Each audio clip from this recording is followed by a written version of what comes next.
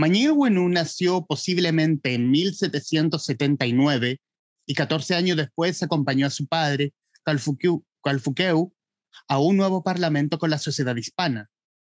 Como en otras oportunidades, este espacio cultural negociado ratificaba que la frontera era el río Biobío. Fue el último que yo alcancé a presenciar. Escribió en 1860, ya anciano, con la experiencia de haber liderado la resistencia mapuche por más de 50 años, primero con los españoles y luego sin ellos. Y hoy en el Traficantes de Cultura, el historiador Fernando Pairi Campadilla, autor de Toki, Guerra y Tradición en el siglo XIX, editado por Pehuen. Eh, Fernando, bienvenido. Muchísimas gracias por aceptar esta conversación. Bueno, Humberto, muchas gracias a ti por la invitación y poder hablar de la segunda edición de Toki, Guerra y Tradición en el siglo XIX. Es un libro atrayente, interesante, bueno, para quienes leemos historia sobre todo, y con, toque, y con toques que dan, que puede tener solamente eh, el talento que da el historiador, porque hay detalles minuciosos, sobre todo para el, para el volumen que tenemos, y, e imaginamos que es un libro de, de largo aliento, sobre todo en su investigación. Y quiero irme la idea.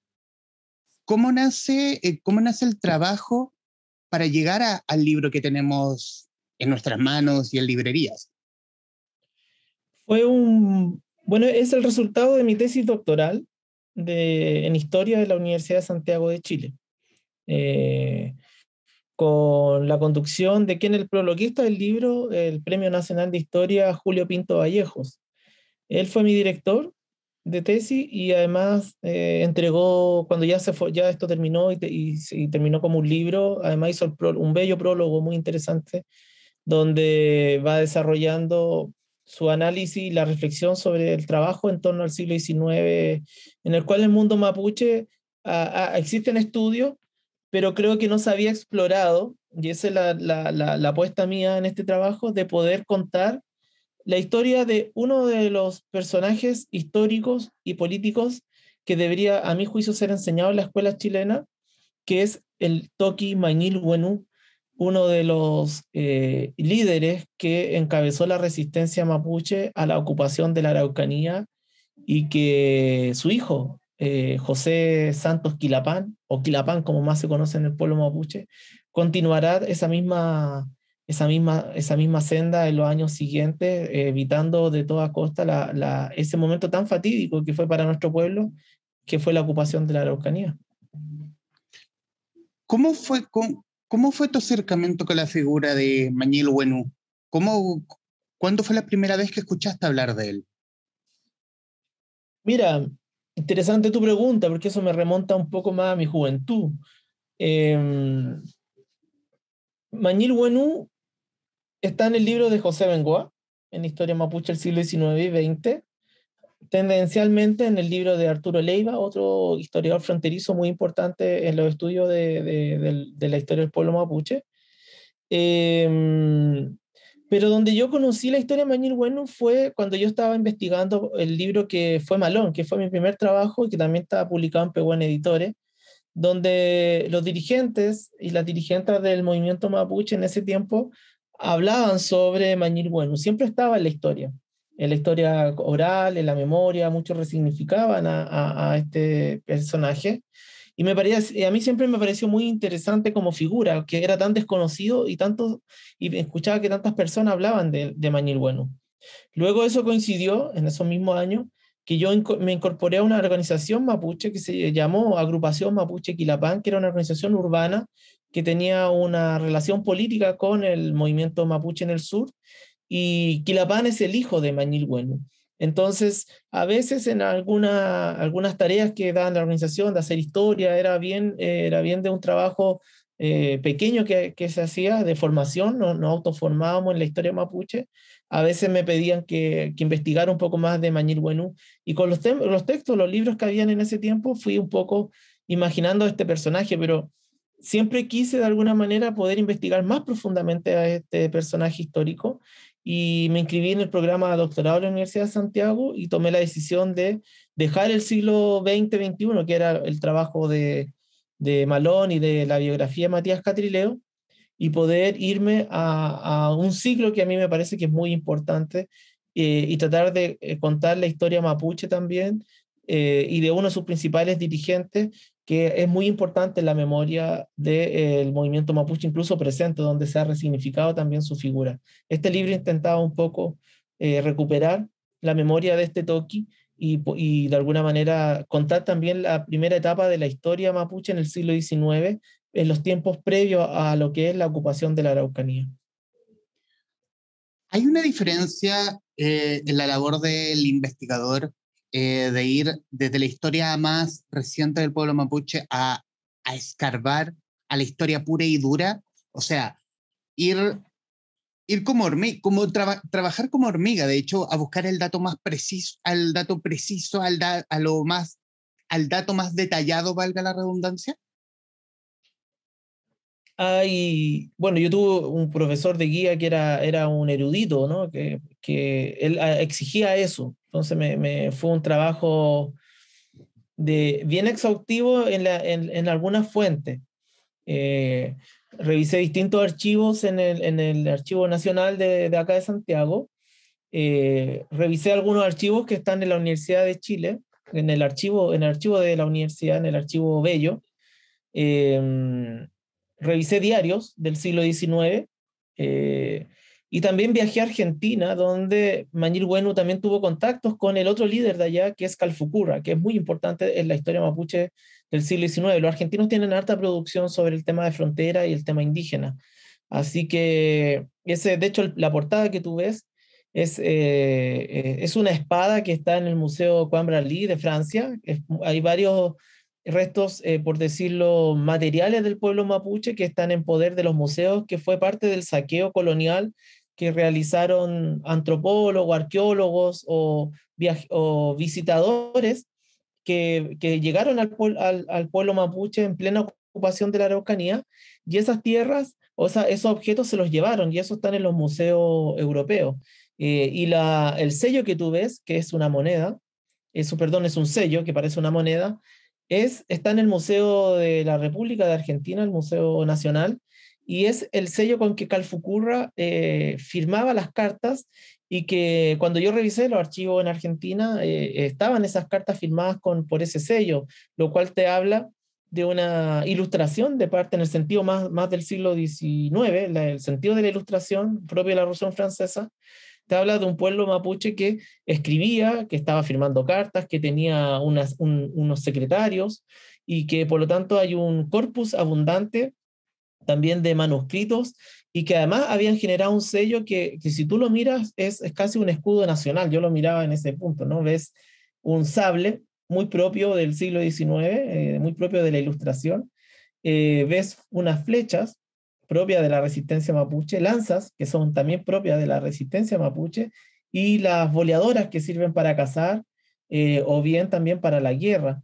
Eh, lo que tú ves ahí es, muy claro que no es un pueblo bárbaro que no entendía lo que estaba sucediendo, sino un pueblo que incluso parecía que iba camino, entre comillas, a la ilustración, en el sentido de que estaba generando una concepción de un pueblo con una especie de eh, nociones de nación, y que yo creo que mm, ese, ese proyecto tuvo un incipiente proceso de configuración en lo que Ingrid de Jong, una antropóloga argentina que también fue muy importante para este estudio, llama la Confederación Mapuche, que es esta articulación entre ambos lados de la cordillera, con la idea de, a lo mejor, ¿por qué no pensar y crear una república mapuche? Que es, luego, con lo que cierro, uno de los idearios que va a crear Aburto Panguilef en 1920-1930. Soñar con una república araucana, como lo llamaba él, y hoy día que el movimiento mapuche hable de la plurinacionalidad, te plantea un poco que esta discusión ha estado un poco eh, al, al, interior también del seno del pueblo mapuche. Hablemos de Mañil Huenú.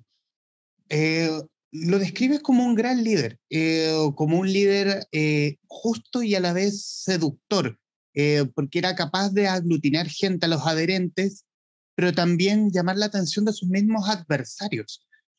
Históricamente, ¿cómo se forma como líder Mañil Bueno? Bonita tu pregunta, porque esa misma pregunta que tú haces es la que yo me hice en la investigación. Dije, mm. cómo hacer el Mañil bueno que conocemos o que aparece incipientemente en la historia ya es un, es un adulto conformado en su mentalidad y en su aspecto. Entonces, dos, dos, dos eh, líneas teóricas desarrollaron el libro, que son los estudios marxistas británicos, en, en específico Edward Thompson, eh, y a partir del concepto de tradición y costumbre, eh, y también de George Roudet, otro historiador también eh, eh, que desarrollé la idea de la ideología, o, copié, mejor dicho, su tesis de la ideología inherente y la ideología derivada. Y un poco pensar que las tradiciones y costumbres, es decir, todo lo que el pueblo mapuche entiende como sus conceptos culturales, la, el, el, el introfilmonguén, la importancia del guiñol tripantu, em, las prácticas culturales, cómo se forma una cultura, eh, fue generando una ideología. Y para poder eh, probarlo, lo que hice en, el primer capítulo es contar cómo se podría haber formado la niñez mapuche, ¿no? ¿Cómo se forma un niño mapuche o una niña mapuche? A partir de los juegos. Entonces el palim no es solo un juego folclórico como lo vemos en Chile en algún momento, sino es un juego de justicia, un, un juego que practica los, los guerreros, pero también que de alguna manera comparten eh, elementos de, la reciprocidad y el acompañamiento, donde los mapuches, cada ceremonia que participan van con los niños, por lo tanto, eh, eh, la ideología mapuche se empieza a transmitir desde la niñez a partir de tus padres, de tus madres. En ese ámbito, entonces, lo que yo planteo, estimado, es que se va desarrollando una ideología, una ideología mapuche a partir de estos conceptos, que es la tradición y la costumbre. ¿no? Las tradiciones son cosas, aspectos inherentes de un pueblo que vienen de los tiempos antiguos, cuando se conformó nuestro pueblo como, como pueblo, en los tiempos preexistentes, por supuesto, muy preexistentes al Estado Nacional chileno y que tal vez está relacionado con la conformación del ser humano en América Latina.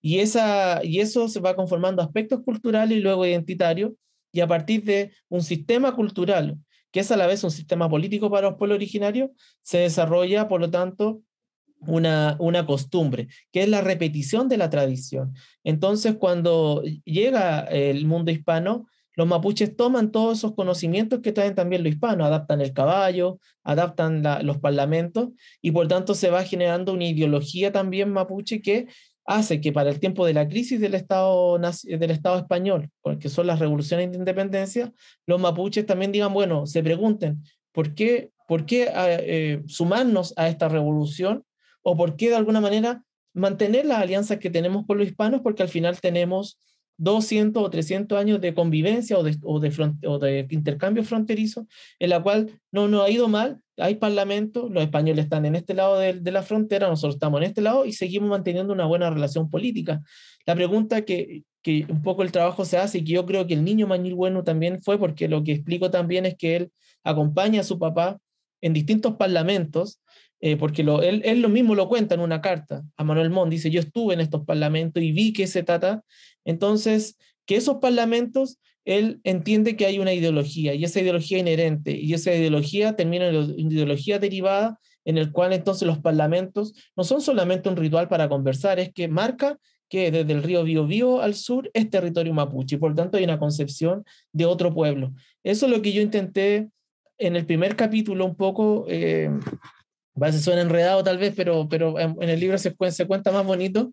En el, en el primer libro, en la primera etapa, el Toki, contar la historia de un niño mapuche y cómo se va conformando todos estos elementos que te planteo, para entender en el segundo capítulo que por tanto el proceso de independencia significó para el mundo mapuche luchar por la restauración de los pactos coloniales. ¿Por qué independizarnos? ¿Por qué apoyar a los chilenos? Si en verdad tenemos pactos políticos que ya están consagrados y que no nos ha ido mal. Entonces, en ese momento, lo que para los chilenos es la guerra de independencia, para los mapuches o para este sector del pueblo mapuche, para Mañil Bueno, significó el momento de restaurar el orden colonial porque de alguna manera tenía una independencia garantizada previa a la formación del Estado chileno. No sé si me explico. No, perfecto. Y de hecho, en la época de la independencia, y quiero hablar del ascenso como líder de Mañil Bueno, que, que el ascenso de la independencia, o sea, eh, exactamente entre 1819 y el 25, la llamada Guerra Muerte, en el fondo donde la nación mapuche se dividía eh, entre el, el, bando republicano y los realistas. O sea, el, el, en esas dos dicotomías, porque esa es la historia, la historia chilena, ¿no? Eh, realista y patriota. Lo que yo intento desarrollar ahí es que el mapuche es un, es un actor distinto, ¿no? Y que los españoles van al territorio al Gualmapu, o, en ese tiempo el Futalmapu, como está las, en, las, en, las, crónicas, el gran territorio, o el territorio grande, y hacen o solicitan cumplir el acuerdo que, son, que de los parlamentos. Y uno de, de los acuerdos dice que en caso de invasión al mundo hispano, los mapuches tienen que colaborar a favor de la restauración del rey o la defensa del rey. Por tanto, los mapuches cumplen la palabra porque el Parlamento, en eso Zavala, un historiador de la, hoy día de la Universidad de Chile, que es lejos uno de los mejores historiadores que ha trabajado los parlamentos y las relaciones fronterizas, señala que el Parlamento es también un, pacto, un acuerdo, un tratado de alguna manera, ¿no? Entonces, en ese tratado, los españoles van y solicitan hacer cumplir ese tratado. Y los mapuches o un sector del pueblo mapuche dice, sí, bueno, colaboremos con esto hagamos este, este acuerdo y defendamos de alguna manera, porque la pregunta es, ¿por qué vamos a cambiar? ¿Por qué cambiar este, estas relaciones de poder si en verdad estamos, no sé, desde 1640, que es el Tratado de Quilín, desde 1640 a 1810, 12, eh, o 20 o 21, cuando empieza a desarrollarse esto, son 600, 700, 800, casi 300 años en que el pueblo mapuche vivió en independencia. Entonces, ¿para qué cambiar? Si en verdad está todo, está, está de acuerdo, se ha dado. Entonces, ahí yo lo que hago es modificar el concepto de la guerra-muerte, porque el, eh, Benjamín Vicuña Maquena, que es un historiador liberal que eh, es muy crítico al pueblo mapuche y escribe la historia desde el punto de vista del, del, del mundo liberal, porque él es un político, va a llamar la guerra a muerte y luego un discurso muy macabro de 1868 que lo llama la conquista de Arauco, donde llama un poco al exterminio del pueblo mapuche. Entonces, yo pongo entre comillas la guerra a muerte porque no es, la, no es, no es el, primer, el primer confrontación, el primer, el primer ascenso del movimiento mapuche, de, perdón, del pueblo mapuche, y es el inicio en que Mañil Bueno se inscribe en esta historia y comienza a tomar espacios de poder al alero de eh, Mariluán. Entonces, a la medida que cae Mariluán, asciende Mañil Bueno y él de alguna manera va, va, a darle toda esa impronta que es decir, bueno, no vamos a pactar y vamos a resistir a, los chilenos finalmente. Y eso hace eh, de alguna manera que Mañil Bueno vaya ya en 1830 tomando espacios de poder y que lo convierte y que llega a, convertir, a convertirse en Toki en la década del 40 y ya hacia el 50 cuando es su, su clímax como tal vez como líder político. ¿Y qué hace que Mañel Bueno destaque la historia, según, según tú que los has investigado, que, que lo destaque en la gran historia mapuche versus otros líderes militares mismos? Bueno, el, el, el, mundo indígena latinoamericano tiene algo en común que las relaciones de parentesco son súper importantes. En ese sentido importa mucho tu familia, ¿no? Si tu, tu, tu padre tiene, tiene, tiene tierra, tiene ganado, tiene, tiene platería, que también da cuenta de, del poder que tiene el mundo mapuche. El concepto de la platería no es solamente, no es monetario, no es como el concepto del capital, que es parte de la discusión del siglo XIX, ¿no? Ponerle precio. Yo creo que Marx lo, lo entendió muy bien en su, en su libro, El capital en la acumulación originaria. Pero acá esto tiene un concepto como visionario, ¿no? Pero también demuestra prestigio.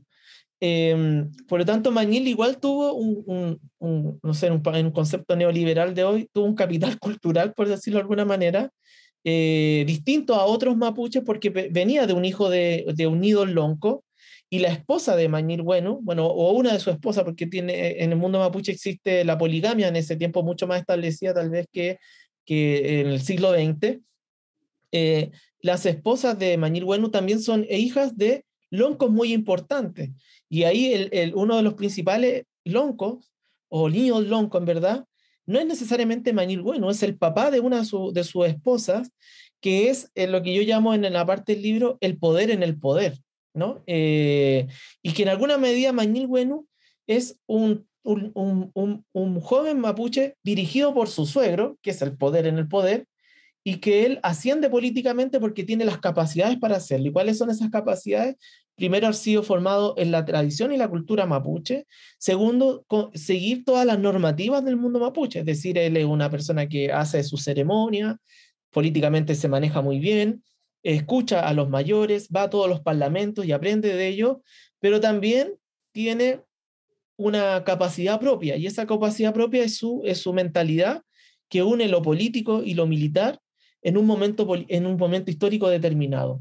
Y eso también se hace cruzando la cordillera. Él también viaja a Argentina, hace alianzas con, Calfucura, el gran líder mapuche de la, de la, de la zona argentina, y además es una persona que se hace a sí misma en aspectos de riqueza, por ejemplo, con el ganado. ¿no? Él, va en, hacia Argentina y, quita ganado a, los a, los huincas, ¿no? y eso le permite de alguna manera también un poder económico. Eh, es lo que un poco se llama el, el, maloneo en, en aspecto de paz. Entonces, él logra ascender políticamente por, por su procedencia familiar, por sus capacidades propias, pero también porque se demuestra diestro para la guerra, crece al alero de Mariluán, pero luego va, va a sobrepasar a, su propio líder y termina convirtiéndose en, a partir de todas sus redes políticas y de, y de parentesco, se termina por convertir en uno de los principales líderes porque creo que logra entender mucho, muy bien que eh, los chilenos o la, la, independencia de Chile es algo que pone en, en, en crisis la independencia o los acuerdos que el pueblo mapuche había, había, eh, había generado. Y por eso él se opone permanentemente a que cualquier construcción del Estado chileno se haga en la línea del río Biobío al, al sur. Y el primer eslabón de eso va a ser en 1848, cuando se construye la, la, una de las primeras eh, construcciones de Estado en la zona de, del Biobío y luego la construcción de Arauco la, provincia de Arauco, donde está el yacimiento carbón. Ese es el momento que él dice, los chilenos están expandiéndose y por lo tanto hay que prepararnos para evitar la expansión de los chilenos a nuestro territorio, al Gualmapu. Vamos a, vamos a entrar en ese, en, ese tema, pero para quienes están siguiendo esta conversación a través de nuestro canal de YouTube, en Facebook y a través de Spotify y Amazon Music, eh, ¿qué puedo decir del invitado que hoy nos acompaña? Fernando Pairicán es magíster en Historia de América y doctor en Historia por la Universidad de Santiago de Chile.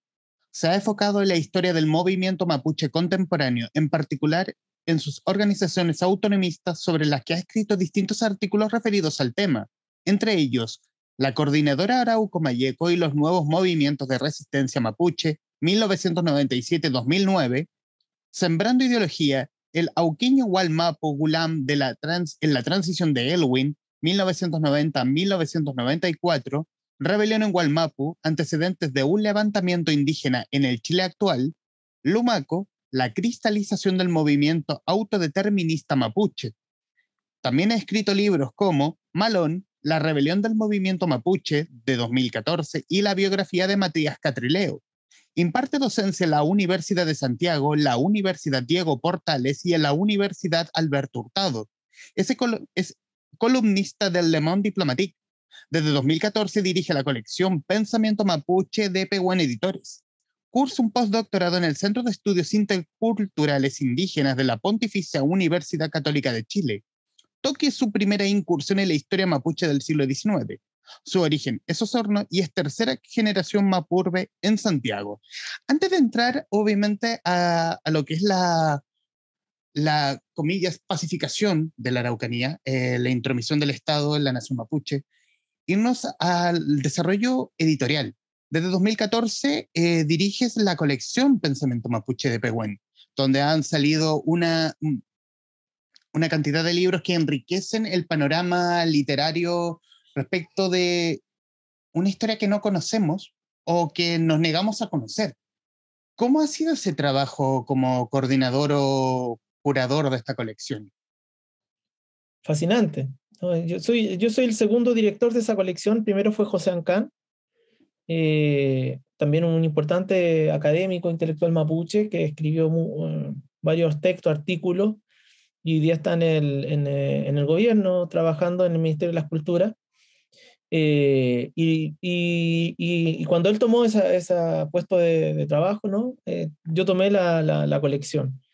Em, para mí ha sido, ha sido varias cosas importantes. Primero, eh, me siento muy parte de la editorial de Pehuen. Eh, creo que em, lo que ha hecho Sebastián Barro y su papá ha, sido muy, ha sido muy importante para la editorial en, Chile, primero, darle espacio al mundo indígena. En la década de los 80 em, no era políticamente correcto ni, ni, atractivo darle espacio al mundo indígena en una editorial. Y creo que eh, Jorge Barro, el, fundador de Pehuen, fue muy, eh, una, una, persona muy avanzada en, en, en, su, en, sus capacidades de poder abrir ese espacio para el mundo, para el mundo indígena y publicar temas de eh, tema indígena. Yo no lo conocí en persona, solo he escuchado por los relatos de su familia, de sus nietos, de sus nietas, eh, y también por otro investigador y escritores que lo conocieron, y, me, y me, me, gustaría a lo mejor haberlo conocido en persona, pues, porque es una persona que ha sido muy sabia en, la, en, en, esto que es el aspecto del libro. Lo otro que me gusta mucho de Pehuen Editores es su concepto, eh, su concepto de la forma de hacer libro, ¿no? Eh, que de alguna manera em, el oficio de hacer libro. Creo que eso es muy bonito, ¿no? Eh, porque también hoy día el mundo del libro es también una parte más comercial. y creo que el oficio de hacer libro es también que un libro esté bordado, que un libro tenga una buena tinta, que tenga una buena impresión, que sea atractivo, que esté en una biblioteca como la que yo te veo y se vea bonito. Creo que eso es un aspecto fundamental y que también tenga un precio que sea asequible para una población en el cual si eh, eh, los libros también tienden a ser un poco caros, creo yo, eh, y lo entiendo porque en alguna medida también hay costos asociados que lo hacen que se incrementen. Y dentro de ese proyecto de, del mundo Pehuen, en algún momento su director, Sebastián Barro, me plantea la idea de profundizar esta idea de la colección de pensamiento mapuche. Y me invitó a crear, me dijo, básicamente me dijo, inventa, ¿qué se te ocurre? ¿Qué hacemos? Y empezamos a traer eh, escritores, escritoras, y tenemos hoy día un número importante de, publicaciones, una colección que tiene su sello, creo yo, con sus portadas, con sus letras, con sus colores, eh, y que es, nosotros ocupamos el concepto contemporáneo, que tal vez en el día de mañana habrá que, que, que, debatirlo, porque lo contemporáneo es bien con occidental, occidental. Pero era un poco para marcar una diferencia con las escrituras previas, no sé si me, darme a entender, ¿no? Era hacer algo, una distinción. Eh, y nos parecía que era un momento que había que hacerlo. Y hemos publicado distintos temas. Eh, por ejemplo, hemos publicado un libro sobre la diversidad de género, Epupillán, de, de Calibán Catrileo, cuando estos temas necesariamente no estaban en desde la perspectiva del mundo indígena hemos publicado a distintos literatos y, poetas. Eh, Jaime Guanún, el último libro, Ceremonia, un libro que está precioso. Eh, publicado a Roxana Miranda Rupailaf, también una poetisa espectacular, sobre todo cuando recita, uno queda maravillado con su, con su forma de fonética y de expresar lo que es ese libro, además que es Chumpal, una historia de un personaje eh, metafórico del mundo mapuche, pero además que ella le da una impronta de género y bueno, aquí les voy a contar el libro, mejor, mejor lo leen y lo compran. Mm. Eh, David Aninir con Mapurbe. Eh, y también ensayos de historia, hemos publicado el último de Claudia Alvarado Lincopi sobre Mapurbekistán, eh, Malón, que fue un libro, el primer libro que yo publiqué cuando estaba José Ancán en la, en la, en la dirección, luego la biografía de Matías Catrileo, Jorge Pinto, y otro libro sobre ensayos constitucionales a cargo de, de, de don Domingo Namoncura. Hay otro, eh, eh, otros eh, libros que ya se vienen también, algunos autores que vienen en camino, como Libertamán, que, José Quidel y algunas autoras mapuche que pronto esperemos que den a luz en este texto. Entonces, eso ha sido la colección de pensamiento mapuche y ha sido un trabajo importante en algo, y con lo que cierro, de que fue lo planteado por los hermanos del Escucha Winca en el año 2006, en este libro que es emblemático para nosotros, que es, eh, eh, bueno, lo dije, Escucha Winca, eh, interpretaciones de historia nacional mapuche, donde ellos dicen, hay que crear una epistemología mapuche. Entonces yo pensaba, si tenemos que crear esa epistemología mapuche como desafío, como parte de un pueblo que está en camino a su liberación nacional en torno a la autodeterminación, entonces tenemos que ir dejando insumos para poder generar esa epistemología. Y esta colección también tiene esa impronta política, ¿no? Estos son todos los autores y autores que escriben en la colección, son a la vez insumos para que el día de mañana las generaciones que nos, nos releven tengan esa epistemología y esos ingredientes epistemológicos para poder avanzar hasta la reforjación del pensamiento propio mapuche. Nosotros, esto es un camino para eso. Y, de ahí es que este, esta colección también es un, es un aporte o intenta ser un aporte para el movimiento político mapuche, pero sobre todo pensado en las nuevas generaciones que vienen a posterior, ¿no? que, están, que, van a, que están naciendo, que van a nacer y que son las que van a tener que eh, avanzar en este, en este proyecto mapuche que es el proceso de autonomía. A tu, a tu juicio como historiador, eh, Fernando, eh, ¿qué es lo que hace? Y quiero poner el ejemplo obviamente Pehuen, porque el libro que nos reúne y quien edita Toki, que hace que una editorial tenga una, no, no solamente tenga un libro en especial, porque yo creo que todos de alguna forma tienen un libro en especial, un libro en especial dedicado a la cultura mapuche. Da lo mismo como, como poder, de, cómo ellos lo tomen.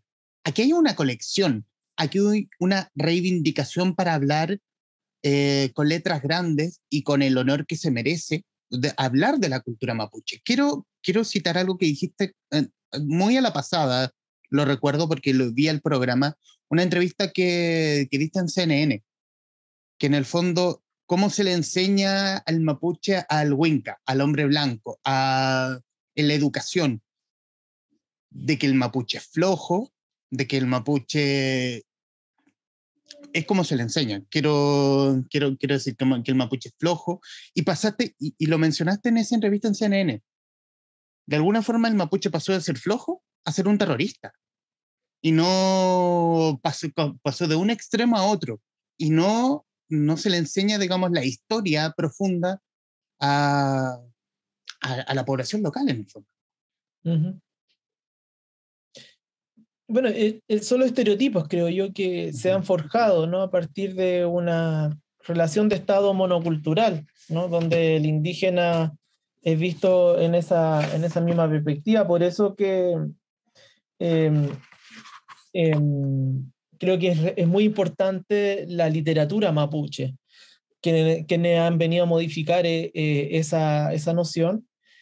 Es clave el Icura Chihuahilaf, entre otros, no solo porque es el Premio Nacional de Literatura, sino porque también es el reconocimiento a las letras del pueblo mapuche y el aporte que hemos hecho eh, distintas generaciones para poder explicar nuestra historia y también reconformarnos o reconstituirnos como pueblo, pero consagrar en el caso de Licura, la orilatura como una, una, una, una historia poética, ¿no? como un sello poético que nuestro pueblo ha aportado a la sociedad en su conjunto. Porque la medida en que el mundo mapuche avanza en, su, en, sus, en sus derechos, en su escritura, también aprende la sociedad chilena en una, en una relación eh, eh, en conjunto. Eso creo yo, ¿no? Y creo que eh, no sé, tengo aquí el libro de la vía política mapuche. Me gusta mucho esta, esta noción con la que abre el libro, ¿no? De Rosa Catileo, cuando ella dice, este es un cambio de paradigma que queremos que quede manifiesto en la nueva constitución y en la convención, ¿no? Que aquí ya vemos diversos pueblos, naciones preexistentes al Estado, y nosotros somos los soberanos los que vamos a refundar o dar una nueva institucionalidad al Estado. Creo que esa frase de la Lamien Rosa Catileo eh, puede sintetizar un poco también lo que es o que intenta la colección de pensamiento mapuche ser, que es de alguna manera plantear que hay una diversidad de pueblos eh, y que también es un cambio de paradigma. Yo creo que también es este, intenta contribuir a ese cambio de paradigma a partir de algo que es lo más universal que pueda haber, que es la, literatura, un libro, ¿no? Porque eso somos, de alguna manera en este momento, ¿no? Somos eh, una apuesta eh, intelectual, política, académica, pero también eh, universal, ¿no? De decir, mira, estos son, déjanos existir, no, no compartas con nosotros nuestros paradigmas, pero, pero exigimos el derecho a existir.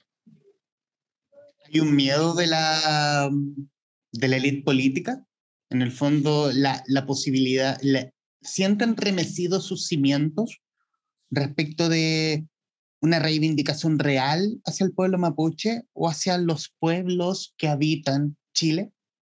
Yo creo que hay mucho prejuicio de parte de algunos sectores de la élite. Creo que también hay, hay, hay racismo abierto en, en, algunos casos que yo vi en la convención, eh, sobre todo de Teresa Marino y otros convencionales de derecha, y el silencio muchas veces de, de otros también frente a eso.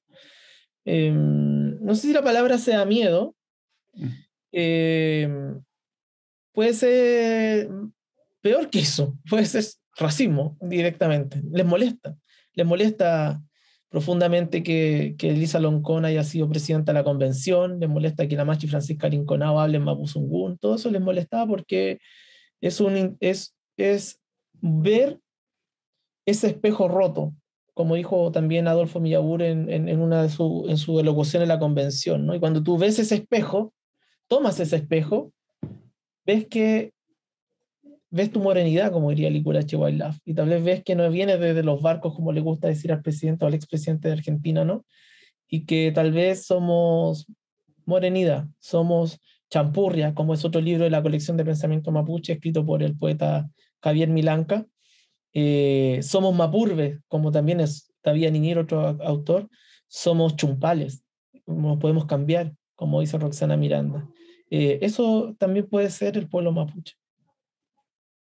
Quiero volver, quiero volver al libro y quiero volver al, al Winú, eh, líder, eh, al, líder capaz de ver la, la, expansión de Chile, capaz de ver cómo el Estado chileno ha eh, supo expandir, supo o vio la forma de expandirse hacia el sur y hablar más bien de la, de la ocupación del Gualmapu, hablar de los intereses, ¿dónde están radicados los intereses? ¿Están radicados en Santiago o están radicados en, el lugar más cercano, que es cruzando el Biodío, que es Concepción? Creo que son simultáneos. Eh, bueno, yo creo que una de las cosas que el libro eh, da cuenta es que hay la, la que se funda eh, de alguna manera en, en la, en la zona de la frontera, eh, en Concepción, pero también en, entre las provincias, en el lugar que está entre Talca al río Biobío, ¿no? Em, son los que van a instigar, ocupar el Gualmapu.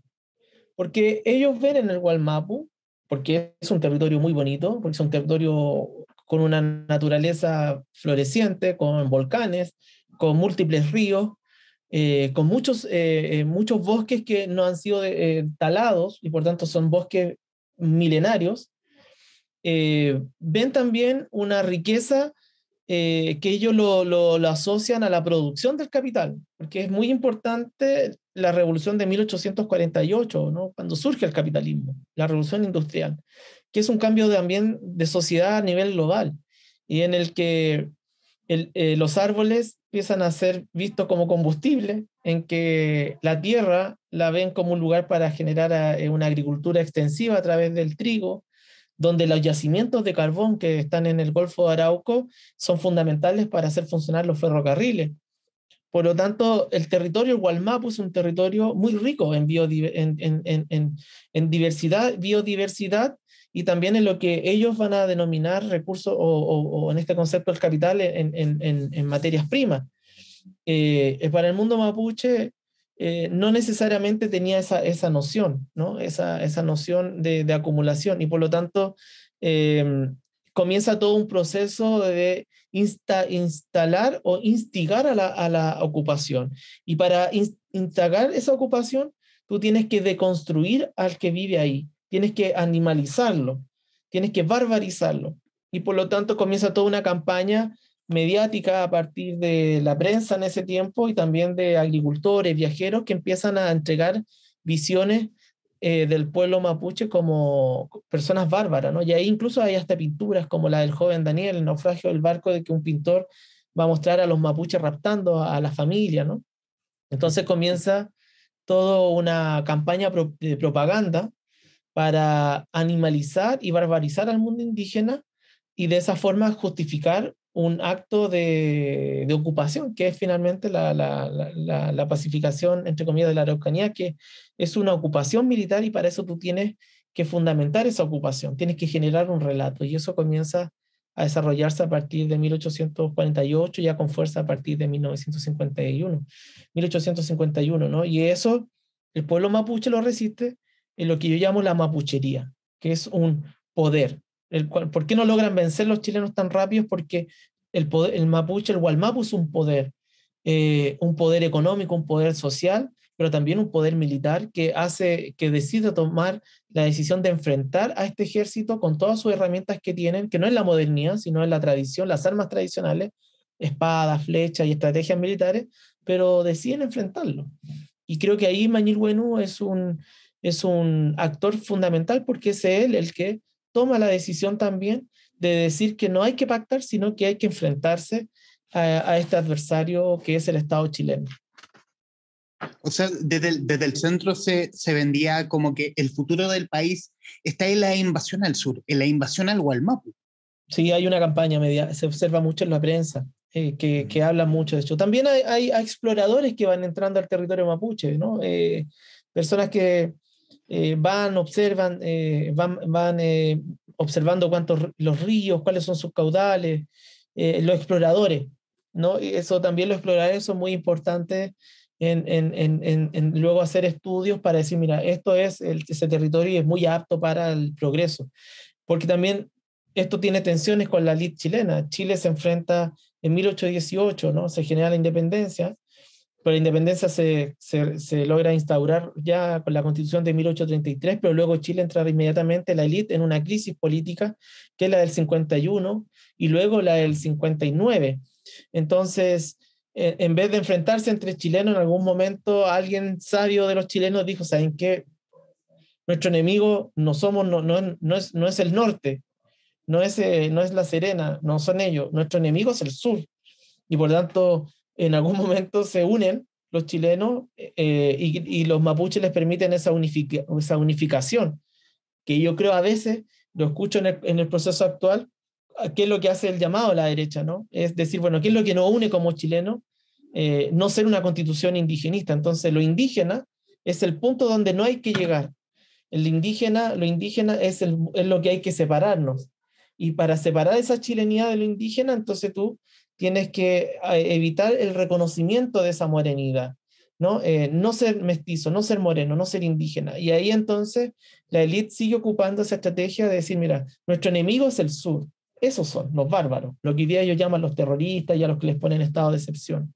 Creo que ahí hay uno, unos paragones históricos de que la identidad chilena se conformó a partir de eh, el, el, lo anti-mapuche y ocupar ese territorio, y esa experiencia luego los va a permitir a ellos estar muy mejor preparados para cuando tengan que enfrentar su primera guerra internacional, que es la guerra del Pacífico, la cual salen triunfantes, porque ya ensayaron, esa guerra un poco o practicaron en la ocupación de la Araucanía.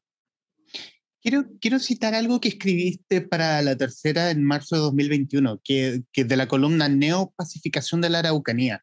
Cito, esta es la herida que no cicatriza y es el origen de la, del actual conflicto. Podrán decir que han pasado más de 100 años, pero en la disciplina de la historia, a ojos de un ciudadano del tiempo presente parece mucho, no lo es tal sin hacernos cargo de esta historia, es muy difícil hablar de paz y justicia. Para lograrlo primero, se debe reconocer la situación de ocupación que vivió el pueblo mapuche y el colonialismo en el caso del segundo. Al hacerlo, se podrá avanzar en políticas de reparación, algunas ya sugeridas en la Comisión de Verdad Histórica y Nuevo Trato. ¿Ese crees, a juicio tuyo, ese crees que ha sido el gran problema? O sea, lo, los recientes gobiernos, sea tanto desde la centro izquierda, de la centro derecha, han mirado como un problema eh, quizás nuevo el conflicto mapuche, viendo que, y no, y no viéndolo con la carga histórica que significa hablar del conflicto mismo? En parte sí. Eh, hay cosas que los gobiernos han continuado. Yo creo que ellos hasta el gobierno Gabriel Boric, hay una diferencia un poco con el diagnóstico que hace el gobierno Gabriel Boric, pero los gobiernos anteriores yo creo que el diagnóstico que hacen es que este es un tema solamente de pobreza, de falta de reconocimientos culturales y por lo tanto de generar eh, una noción de, de chilenidad eh, multicultural, ¿no? Entonces lo indígena es parte de una postal, más que, más que de derechos. Y por tanto, los gobiernos de Elwin desarrollaron la ley indígena en 93 con la idea de fomentar o proteger lo indígena en una perspectiva indigenista, pero que esa misma normativa de protección se, ellos la destruyen con la construcción de la represa hidroeléctrica Ralco, donde pasan a llevar esos mismos derechos indígenas. Y luego vienen políticas como las de Frey, de avanzar en temas de pobreza, eh, Lagos con la verdad histórica Nuevo Trato, Sebastián Piñera con el plan Araucanía, y luego Bachelet con el pacto de multiculturalidad, y luego Piñera nuevamente con una noción economicista sobre lo indígena, pero también integrando la división del mundo indígena entre el indígena permitido y el indígena insurrecto, ¿no? El permitido, el que estaría de acuerdo con estas políticas sin criticar, y el insurrecto, que es el movimiento autonomista, que tiene que vivir la persecución y la cárcel política como acciones desde el Estado, ¿no? Creo que ese, ese aspecto es muy importante para entender un poco la, la crisis también que hoy día eh, eh, le toca al gobierno de Gabriel Boric, donde vemos un movimiento más radicalizado porque no cree en esa institucionalidad, pero creo que el gobierno de Boric sí plantea un diagnóstico algo un poco más distinto. Puede ser porque es más joven y hay una generación más joven en, en el poder, donde dicen, mira, este es un problema que es de tierra, pero eso también es un tema de reconocimiento, pero también un tema de, de que hacer político. Y por lo tanto, la impresión que me ha dejado, más allá que yo no comparto el estado, la militarización y el estado de excepción que ha decretado el gobierno, em, creo que la parte, la, gira internacional que ha hecho Boric, tanto a Argentina como a Canadá, donde están hablando de este tema del reconocimiento, de autonomía, donde hay, hay aspectos de eso, me parece que por lo menos veo un gobierno que tiene la intención de hacer algo distinto a los gobiernos anteriores, pero creo que a la vez si bien lo veo en, él o en una parte más joven de la izquierda que está en ese poder, hay incomponentes dentro de su gobierno, como son los militantes del Partido Socialista, que han sido arquitectos de las políticas de criminalización al movimiento mapuche. Y por lo tanto, hay, un, hay como dos espíritus.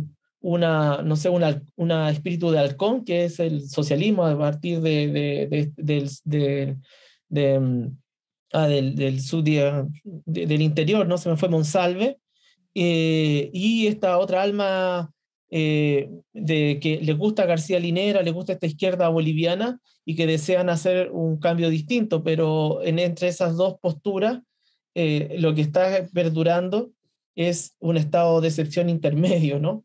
Y que termina generando una política de continuidad de la criminalización al movimiento. No sé si me, te logro responder un poco, ¿no? No, no, claro, claro, por supuesto. Y fuera, y, fuera de lo mismo, tomar, tomar la mirada misma de la historia. Eh, creo haber visto una, una, presentación de tu libro que, que, hiciste con la Universidad Católica del Norte y uno de los intervinientes hablaba de mirar la historia desde el norte, que hemos mirado mucho la historia desde el norte versus esa mirada fresca que tú tienes y aquí e, este, y este ya un título más personal, eh, esa mirada más fresca del sur, ¿Hace falta mirar la historia del sur desde el mismo sur? ¿O, o, o, chasco, no, chasconear quizás sea un término poco docto en este, en este punto para hablar de la historia, pero quizás me voy a quedar con eso. Hemos mirado mucho el norte, desde, desde el norte la historia, y nos falta mirar desde el sur mismo, hablar de, de persona a persona, de un igual a igual con el sur. Puede ser, yo creo que hay una, una Chile un país que, el peso del centralismo sigue, sigue estando presente como país, ¿no? Y eso hace que Santiago sea la ciudad que concentra una población, que tiende a atraer, atraer población de, de, de las zonas. Es la ciudad que tiene el metro, bueno, Valparaíso tiene también un metro hoy día, pero de alguna manera la modernidad se ve más en Santiago que en, en región y eso genera también eh, la crítica de las regiones al centralismo, ¿no? Em, y cuando, cuando uno ve la historia desde las, desde las fronteras, desde las regiones, también te ayuda a examinarte a ti como centro, ¿no? Y, cuáles son tus fortalezas y también tus debilidades como tal. El, en caso de Toki, y que al final ha sido como una noción también a la altura, ya a esta altura ya tampoco soy tan joven, ¿no? Pero ya pronto voy a cumplir 40 años, creo que estoy ya un poco a la mitad de la vida de uno. Eh, si la esperanza de vida, yo sé que son 100 años, pero más o menos uno vive en condiciones hasta los 80. Creo que em, sin darme cuenta, creo que al final lo que, este, eh, si yo vivo en Santiago y, y, y, nací en Santiago y soy de origen mapuche en Santiago por condiciones históricas que están más relacionadas con la pérdida territorial en el Gualmapu, mis trabajos creo que igual han tratado de, de analizar desde un santiaguino que analiza desde el sur eh, la construcción del Estado eh, chileno, ¿no? Entonces, logro en algunos momentos a través de la metodología de los estudios subalternos, de provincializar también eh, Santiago, verlo de otra forma, eh, y eso me permite tal vez, como santiaguino, también mirar las fronteras y los problemas que tiene el sur y las relaciones de poder que hay entre colonos y el mundo mapuche. No sé si la palabra sea objetiva, pero tal vez al no vivir también en la región, me permite no, no envolverme de, de, de, la, de, de, las divisiones que se están dando en, en la Araucanía o en el Biobío a, raíz de justamente de, del conflicto mapuche y la agresión que sufren desde los colonos o hacia los colonos en, en, un territorio en disputa. Entonces, es una historia que intenta siempre volcarse desde el Gualmapu, mirando las relaciones de poder hacia Santiago. Ahora, esto también eh, tiene, Humberto tiene evoluciones, porque Malón es un libro de, que es mi tesis de magíster, tenía veintitantos años, eh, eh, Toki es la tesis doctoral, entre eso escribí la biografía de Matías Catileo, y luego este otro libro que es La Vía Política, que, que tal vez una reflexión un poco más de ensayística de todos estos estudios preliminares y toda esta experiencia que yo también cultivando con los pasos de los años, eh, pero también con nuevas dudas y con, nueva, con, eh, y con nuevos desafíos, creo yo, ¿no? Fernando, y, el, y en los minutos que nos quedan, ya como recapitulando y, cerrar, y cerrar esta conversación, ¿qué debería quedarnos para quienes leemos, hemos leído el libro eh, y para quienes van a leerlo a futuro después de ver esta conversación a la cual los invito? Eh, ¿qué deberíamos quedarnos con Mañilo Bueno? ¿Cómo debíamos mirar a este gran líder mapuche? Y también, ¿cómo debiéramos mirar hoy a la gran historia mapuche? Yo creo que Mañilo hay que mirarlo como uno de los personajes históricos del siglo XIX que desde el mundo indígena comprende la construcción del Estado chileno y comprende lo que está pasando, el cambio que se está dando a nivel mundial a raíz de la revolución capitalista y de la revolución de las naciones. Eso sí lo entiende un personaje mapuche anclado en su territorio y que habría vivido lo que hoy sería la, la, la zona de Mayeco, el territorio donde está Temucuy. Ese habría sido posiblemente una de, su, de sus territorios. Y para comprender incluso la radicalidad de esa, de esa comunidad, esta historia también es importante porque ese es el personaje que a ellos también lo engloba. Ahí está la historia de él, transmitida de manera oral. Ahora, ¿quién nos enseña? Yo creo que algunos principios culturales. Eh, eh, una persona que es Reche, que, es la, que a mí me parece que es una, es un, una persona mapuche que logra su plenitud en lo, en lo espiritual, en lo humano, en lo político y en este caso, como Toki, en lo militar. Creo que estamos hablando de un personaje que también ocupa estrategias militares para debilitar a un ejército que se está modernizando, primero el hispano y luego al chileno, ¿no? Y que genera, y que genera grandes conflictos al ejército chileno, ¿no? No estoy seguro si la palabra sea que el pueblo mapuche fue derrotado con la ocupación de la Araucanía. Tal vez fue debilitado, pero no, no estoy seguro si el pueblo mapuche se rindió, por ejemplo. Y creo que eso se nota mucho con el hijo de Mañil Bueno, José Santos Quilapán o Quilapán, eh, que va, eh, va a extremar la resistencia mapuche y va a generar nuevas estrategias, incluso militares. Eh, pero creo que hay otro tema que me parece importante, que es lo que nos enseña Manil Bueno, o por lo menos yo lo vi también de esa, creo, lo, lo, o yo lo quiero tener así también como un historiador posicionado también, que es el canto tradicional que está en la, en la casi las últimas páginas, en el, en el epílogo, ¿no? que se llama Adyayin. Eh, que dicen que mientras hayan coligües tendremos lanzas, ¿no? Entonces, ante la derrota del pueblo mapuche eh, temporal en, en, en el, con la ocupación de la Araucanía, la, el llamado que hacen los sobrevivientes es que dicen, bueno, en los cantos de Mapuzungún dicen, bueno, mientras hayan coligües, mientras eh, tendremos lanza y por tanto tendremos resistencia. Y creo que esa es la impronta que Mañil Bueno pienso que intentó forjar en ese momento tan crucial para la historia del pueblo mapuche, donde tú, eh, habían dos alternativas. O eras destruido como pueblo, como sucedió con otros pueblos indígenas en ese mismo contexto histórico, o bien sobrevivías como pueblo. Y para sobrevivir tomas una de las decisiones determinantes como pueblo, que es enfrentarte a un ejército muy moderno o más moderno que, el tuyo, sabiendo que vas a ser derrotado, pero sabiendo que si resistes y te enfrentas, las futuras generaciones van a tener eso en su conciencia histórica.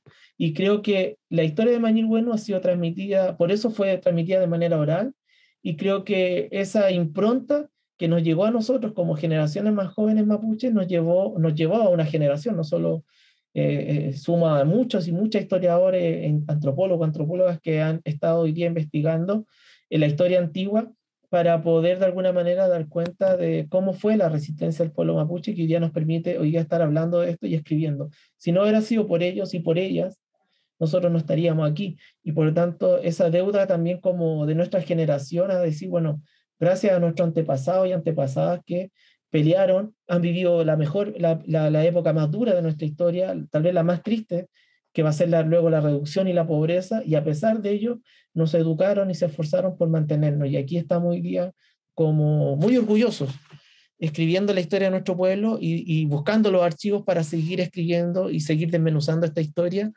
Y, y eso hace, creo yo, que que en el, en el último libro, ¿no? estimado, en, en, la vía política, yo tomo la decisión de cerrar también con, con las palabras de Rosa Catrileo, cuando ella dice ¿no? que al final, eh, eh, me gusta mucho esa frase cuando ella dice, finalmente puedo decirle a los hijos del pueblo mapuche que jamás se rendirán porque nunca nadie nos doblegó, nuestra cultura seguirá existiendo y nuestros hombres seguirán naciendo, ¿no?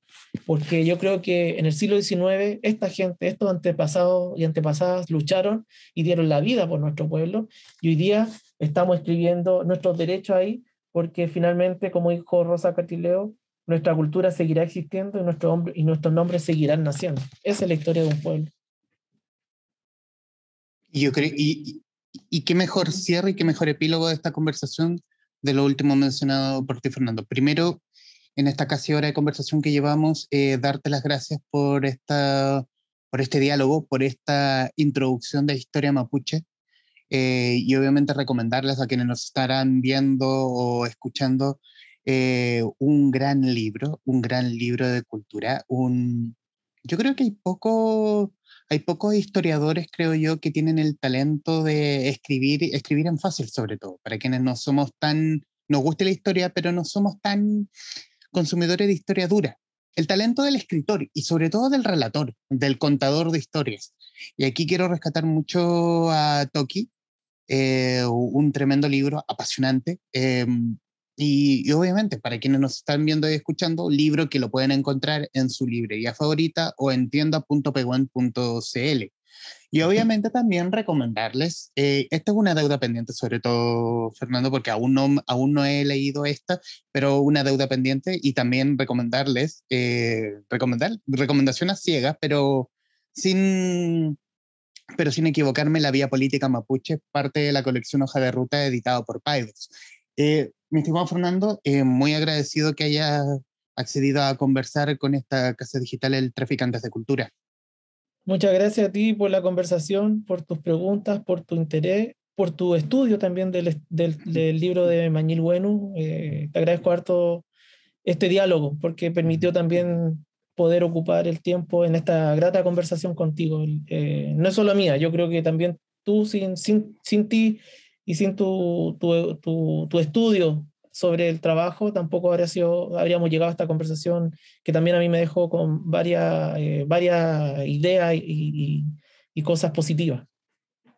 obviamente es la invitación para futuras conversaciones y esta casa digital siempre va a estar disponible en para, para, ti y obviamente para Pehuen. Eh, gracias, Fernando. Gracias a ti. Y a quienes nos están viendo y escuchando, gracias por estar ahí. Adiós.